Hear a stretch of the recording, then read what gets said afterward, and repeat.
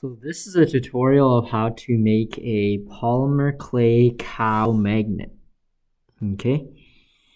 And the colors for the cow, um, you can really use, uh, as long as you use white for the, for, for one of the colors, um, the other color here doesn't really matter, uh, because what we're actually going to do is we're going to be mixing these colors. So it can be any shade as long as you have two shades of that color. So for example, I used the color I used was red here and I mixed um I mixed one shade of pink here and then after that for the nose and for the antlers I mix or not the antlers the horns I mixed a different shade of pink. So as long as you have the white um, the other color doesn't really matter and the black is drawn in with a sharpie. Now this next step, we're gonna have our transparency. So these are the transparencies that they used to use on the overhead projectors. Um, this step is only necessary if you don't really have a flat surface. So you can see like if you're working on like, for example, a textured surface, you don't want to roll your clay on a textured surface because it's going to pick up that texture, right? So what you're going to do is you're going to use your transparency as a surface and we can just cut out a small square to be our working surface.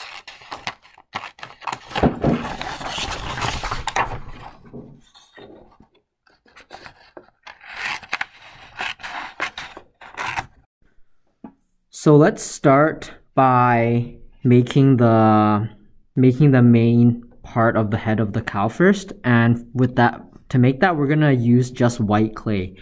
Now since we're using white clay uh, make sure you wash your hands thoroughly um, to get as much dust off as possible. You um, it's gonna be pretty hard to keep it completely clean um, but there are ways which you can minimize how dirty it gets, and that would be uh, washing your hands first and handling white clay first before you handle other colors. And if you're gonna handle white clay after handling another color, then you should go and wash your hands with soap first. So for us to prevent um, the white clay from getting too dirty and getting contaminated by other colors, we're gonna make everything that we're to make the main part of the body first because it is white.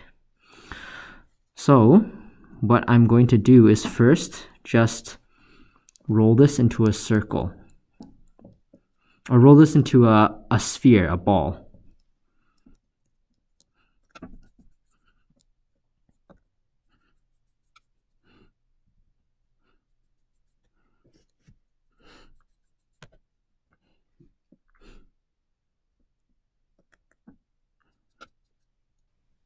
So now that we have a relatively round sphere, it doesn't have to be perfect, okay? Now we're gonna make it a bit longer so it's almost like an egg shape. So the size of the head of this cow should be um, once you flatten it, and I'll, I'll show you that that'll be in the next step. Okay, should be the it should be bigger than this magnet, so that way this magnet doesn't show. So right now it's obviously smaller, but it'll it'll be it will be bigger once I flatten it. Right now we're just making the sphere into more of like an egg shape. We're just making it longer. And to do that, we're gonna just roll the sphere sideways like this. Okay, so once so now that's I think this is about long enough maybe a bit longer. Okay? That's good. So now we're gonna flatten it. So just lightly you're not pressing it really hard okay? You're just lightly tapping it so it will flatten okay?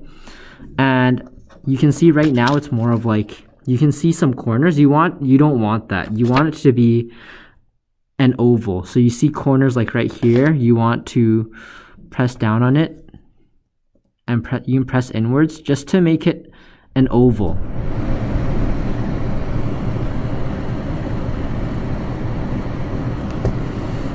So now let's look at the shape. It's pretty close to an oval, but there's still some corners, maybe like right here.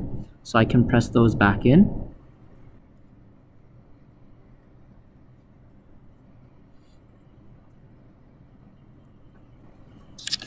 Let's see, that's getting there.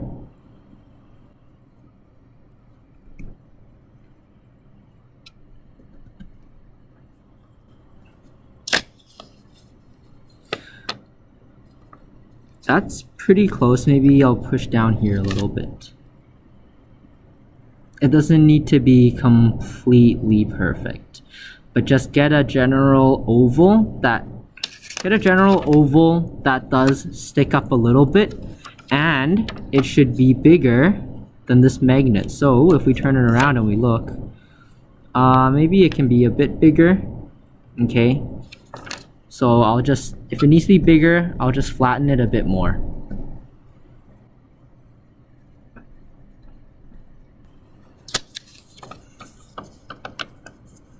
Make sure it's there's no corners. Just by we can do that by just squeezing around here and lightly tapping it. So let's see. Say that's pretty good. So the magnet is not going to stick out from the edges now. So now, now we have the body of the cow that's pretty much done.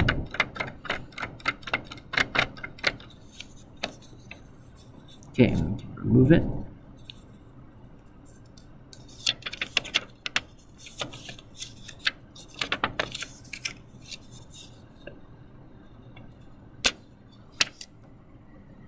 There we go. So now we can put this to the side and we'll work on the other parts. So now we're gonna do the other parts of the cow. So we use this side of the transparency um, for the white, or if you didn't use a transparency, you use this part of the table for the white. So we don't, we wanna keep this part of the table for roll for just rolling whites. Um, and we'll use a different part of the table or we can flip this around so that way we don't contaminate the side that is specifically for um, rolling the color white because we don't want to get any of the white colors dirty.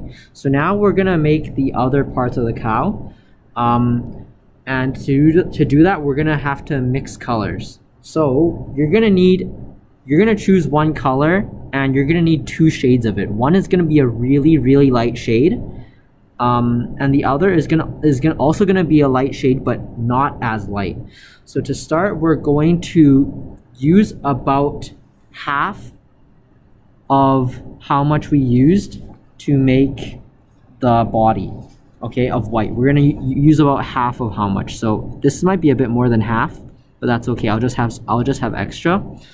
And to that we are going to add a little bit of the color that we are mixing in. So for me, I am making a cow that has pink spots. So to this white, I'm going to add a little bit of red. And you can see the amount of red I'm adding is not a lot. Okay, and we're just gonna mix that together.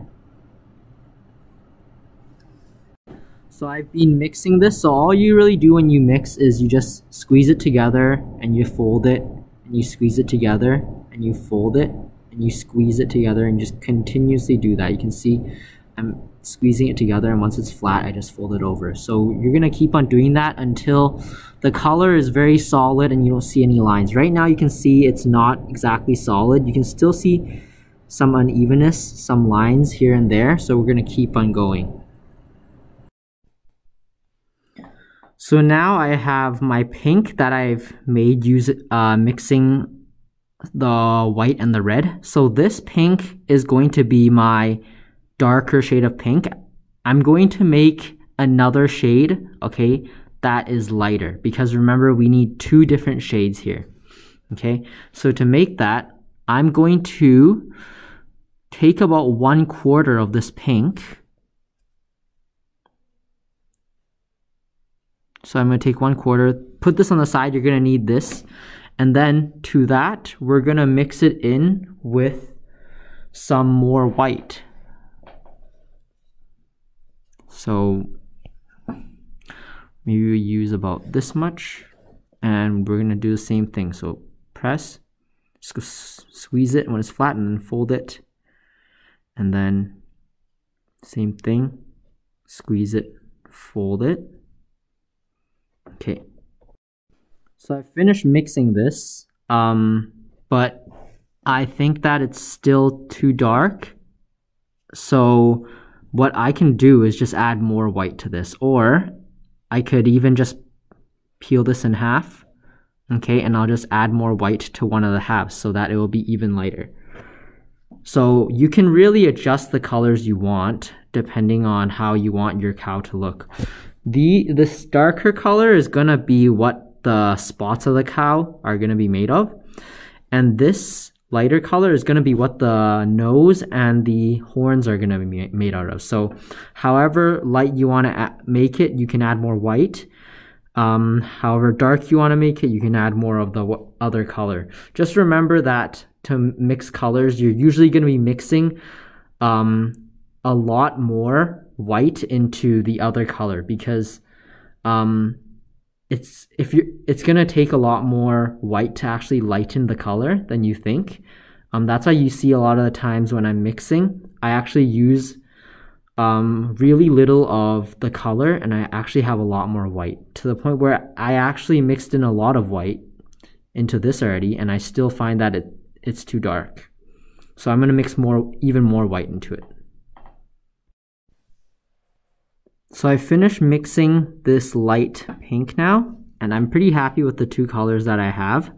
One thing I want to show you is my hand. So you can see that after um, handling the white clay, I'm actually starting to have a lot of white clay residue on my hands. And if you're to start handling a darker colored clay like brown, you would actually also contaminate that color as well. So it also applies backwards as well. So it's really important for you to um, clean your hands when you're working with different colors, especially when there's a big contrast between the colors. So if you're going from like white to brown or brown back to white or, or black, um, it's it's uh it's important that you clean your hands with soap and water, uh, just so you don't contaminate uh, the different colors. So now we're gonna start assembling our cow.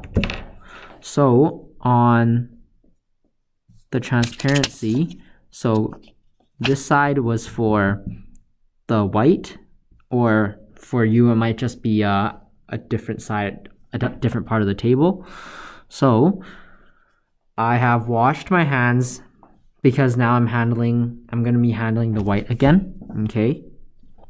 And I am going to start applying these colors.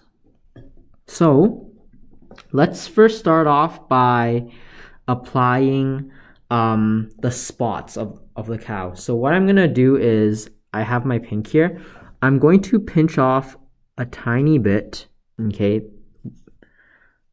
If I put it beside, it's gonna be about that size, okay? Maybe I'll pinch off a little bit more. Okay, we want to save about this much, and that's going to be for the ear. Okay, the other part, okay, I'm going to start making the spots. So to make the spots, what we're going to do is we are going to roll um, just a round shape. It doesn't have to be a circle, okay? Uh, just make a general round shape and then we're going to flatten it a little bit, okay? And what we're going to do is we are going to apply that. We're going to stick that onto uh onto our cow. So I'm going to start by put, putting this on the top right corner. So let's put that um put that right over maybe I'll take a little bit off just pinch a little bit off. Okay, and we are just going to put that onto the top right corner. And then we're going to flatten it on.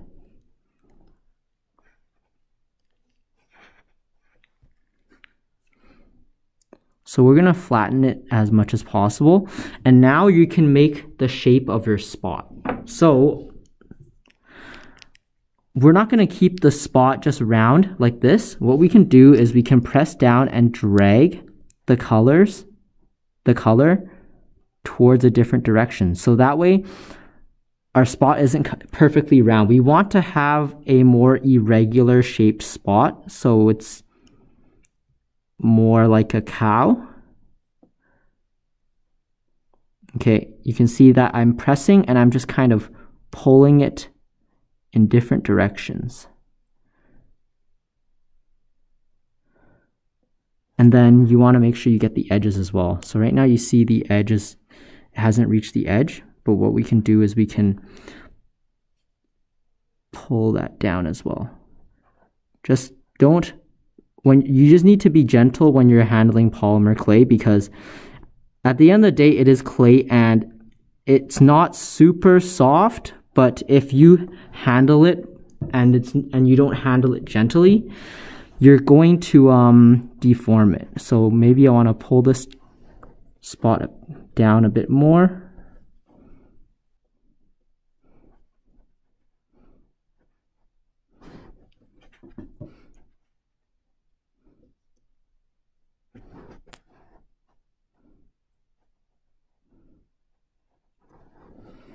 Okay, so that is our first spot. And then another spot we can do, so we're gonna take the same, we're gonna take the same color and let's do one on the bottom left corner. Maybe this is a bit too sharp here. I'll pull this back in. And then let's do a bigger spot in the bottom left. So you can see it's just a general round shape. Maybe this one I'll just do like an oval and then we'll flatten it first. And then we'll just apply it on.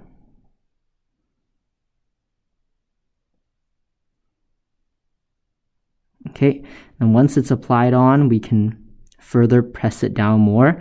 And then now we're gonna start pulling it towards the directions we want.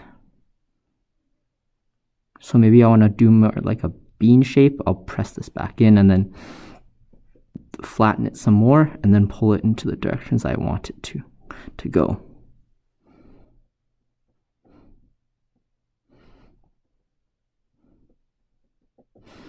And you want to make sure that it's relatively flat, this, this color on the white. Doesn't have to be completely flat, but you still want it to, you don't want to stick out like a bump because at the it, it's still it's just it's basically part of the cow's skin so it's not like it should be sticking out a lot.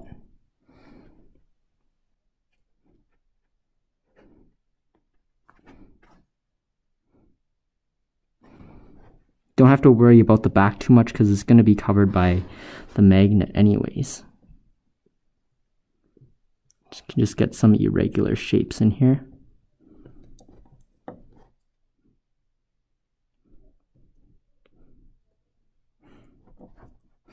And then when you have areas like this where it's not even, um, all you need to do is just take your finger and just run it along the clay and it will smoothen it out. And that's what you're trying to do.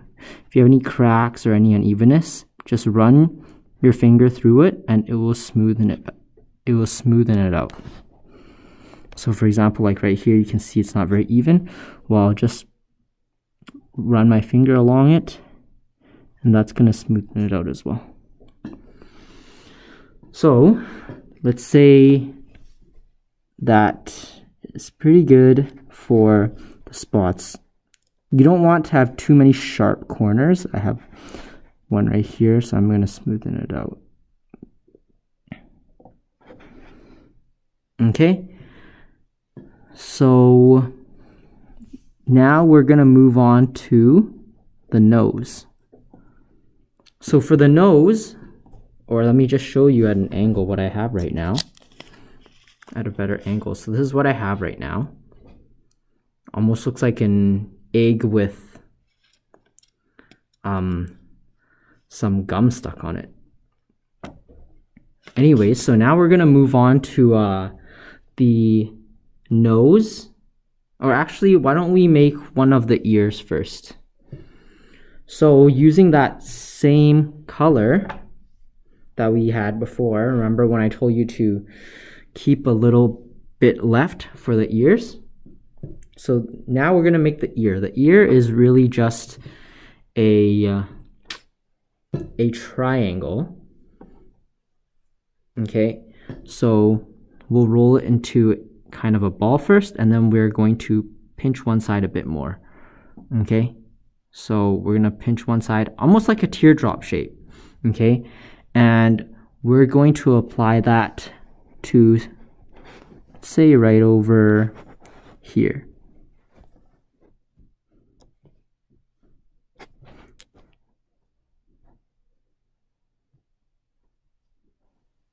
Okay, like that.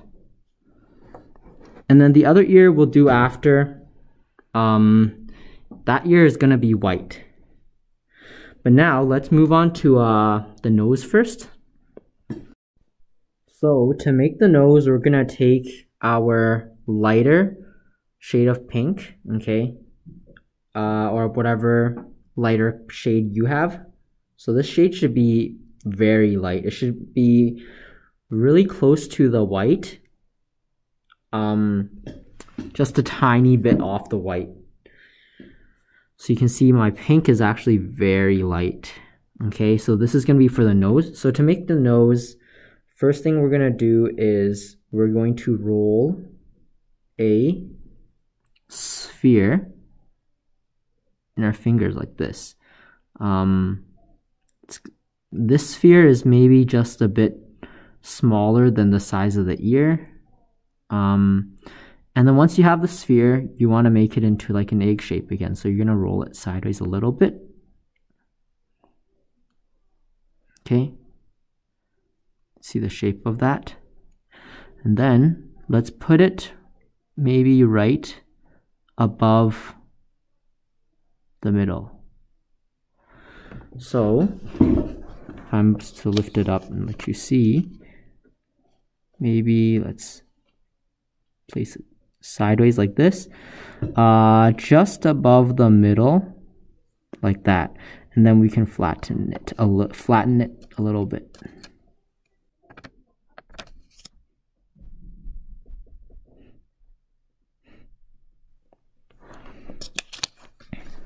Okay, see, and then now this this next step, we're gonna make the holes in the nose. Now you can use Sharpie for this. Um, or if you have extra clay from making the uh, making the spots, you can also use that as well. Uh, making it with the spots, making it with making the spots uh, or the holes with the clay is a bit harder because you need to peel really really tiny pieces and then roll them into spheres. So that's why using the uh, the Sharpie alternative is also not a bad idea. Um, but just to show you, I I'll use the uh, I'll use the clay. So to do that, we have to grab a very tiny, and I mean very tiny amount of clay, which you'll see that that much. Okay, it is very tiny, and the reason why is because um, Remember when you flatten something, it will actually get bigger. So right now we have this sphere that is tiny, but when I flatten it, then it will be the right size. Okay, so you can see that's what it looks like right now, but once I flatten, it'll actually get bigger. Now the challenging part is not only working with such a tiny piece of clay, but the next piece you peel also needs to be a similar size. And if it doesn't, and if it's not similar, um, it might not look good because then you have one hole in the no one of the nose holes that's big and the other one is small. Okay, so I have my second one. You can see it is very tiny.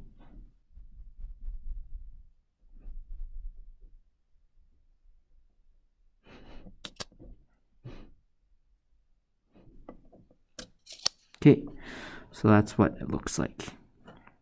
Okay, and now while we're uh, working with this lighter shade, let's make the horns of the cow. So to do that, all we're gonna need to do is just take a piece of the lighter clay and we'll just roll it.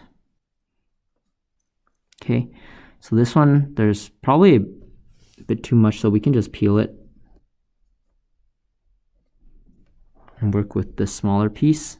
And we're just going to roll it until it is a cylinder. Don't make it too long because remember that after you bake it, it's going to be hard. You don't want it to snap off too easily. I think this is a good length over here. Okay. See the length of it. So what we're going to do is we're just going to attach this right above the ears. Right over here. And we're just going to press down. We're just going to push it in.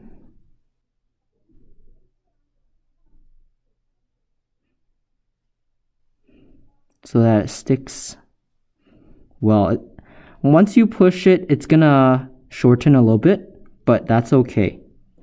So that's one of the horns, and then we're going to do the other one.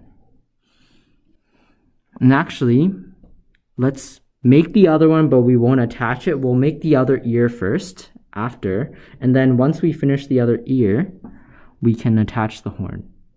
So here I've made my second one already, just rolling in my fingers. Okay, and then now we need to make the ear. So since we're handling the white, um, let's go clean our hands quickly first. So now I've cleaned my hands, so I'm going to make the ear. So same process as the previous ear. All you're gonna do is just take a sphere of the white and then you're gonna pinch one side into like a triangle or a teardrop shape. Okay, like this. Uh, make sure it matches the size or it's around the same size, so that's good. And then I'm just going to attach it right see, maybe right over here, just opposite of it. Okay, and then we can pick it up and press it in a bit more. So it stays, especially after we bake it. Okay, and then we're going to attach the other horn that's also right above this ear over here. So remember right now it doesn't look like it's even, but remember when you push in the horn, um, it's going to uh, it's going to flatten.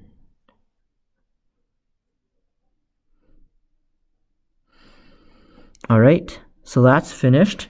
So that's our cow, and we're gonna bake this at 275 degrees Fahrenheit Fahrenheit, remember it's Fahrenheit, not Celsius, for 15 minutes. Um, and the you're probably wondering where are the eyes? The eyes we are going to add on after um, after baking. We're just gonna put we're going to uh, just draw that on with Sharpie, okay? So our oven has preheated up to 275 degrees Fahrenheit and the timer is just around 15 minutes. So to bake polymer clay, you don't need parchment paper. You can use it if you want to, but you don't have to. Um, don't use wax paper, that's gonna burn in the oven. Uh, alternatively, you can also use like a ceramic oven proof plate, but you can actually just put it straight on this baking pan as well. So, and that's what I'm gonna do. So I'm just gonna put it here, okay, and um, it's gonna bake for 15 minutes. So you can see for me, uh, this oven, there's a bottom rack and then there's a middle rack, okay? Um, you don't want to put your clay right by where the heat comes from. I know for this oven, uh, the heat comes from the top. So for example, in that case, don't put um, the don't put the tray on the top rack. There's no top rack on this one, but you don't want to put it on the top rack. Otherwise, you're gonna risk burning it. Um, if the heat is from the bottom, uh, then you don't want to put your tray on the bottom rack because it's gonna get a lot hotter. Okay, and then we'll be back in uh, in about 15 minutes just to check on it when it's finished. So the polymer clay is now done baking. Now I could just leave it in the oven or leave it on the pan, like take it out and just leave it on the pan um, to cool down. It'll take a bit longer to cool down like that. Uh, what you could also do is you can remove it off of the baking pan uh, and maybe put it on a plate or something. That way it will cool down faster because right now the baking pan is still hot. So uh, we'll just let that cool down for now. So now our cow has cooled down. So we're going to add the eyes and we're going to glue the magnet on. So for the eyes, I'm just going to use a Sharpie here and let's just put it right above the nose over here.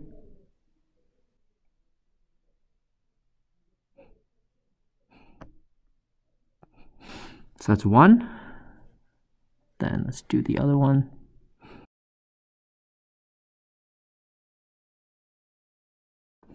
Okay, so the eyes are done. Okay, and then we are going to add the magnet. So for the magnet, what we're going to do is we're going to put some glue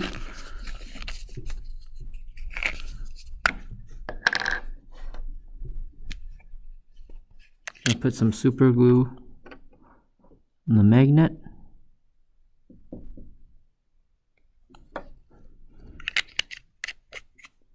And then we're going to put our cow on so that it covers the whole magnet and doesn't stick out from the side.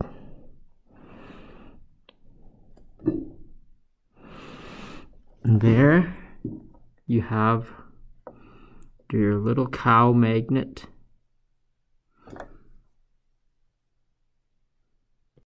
This is perfect for on the on your whiteboard or maybe you can put it on the inside of your locker.